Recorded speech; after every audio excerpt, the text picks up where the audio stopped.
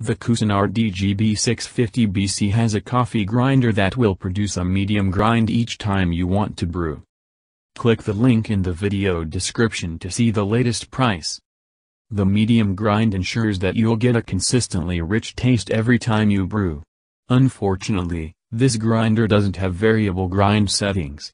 This however is to prevent the filter from clogging when extra fine grind is used or getting low quality flavor when coarse grind is used.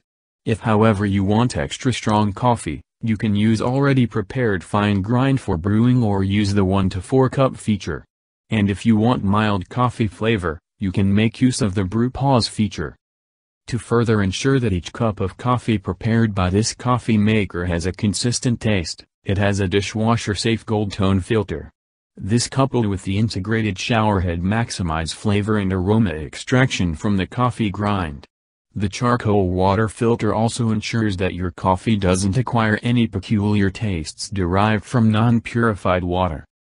The dual insulated thermal carafe with 10 cup capacity ensures that your coffee remains hot for a couple of hours after brewing. Click the link in the video description to see the latest price.